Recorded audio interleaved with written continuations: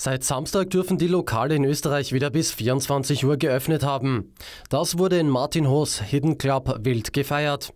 Sein Club darf geöffnet sein, da er ihn von einem Nachtlokal kurzerhand zu einem Hidden Dinner Club umfunktioniert hat. Sprich, Gäste müssen einen zugewiesenen Sitzplatz haben und beim Verlassen des Tisches eine FFP2-Maske tragen. Doch davon ist auf den Videos, die OE24 zugespielt worden sind, nichts zu sehen. Je später die Stunde und je näher die neue Sperrstunde von 24 Uhr rückte, desto hemmungsloser wurde auch gefeiert. Fast keiner der Gäste konnte sich dann noch sitzend auf den Stühlen halten. Die Beats der Live-DJs verleiteten viele Gäste dazu, sich im Rhythmus der Musik zu bewegen, und zwar ohne Maske.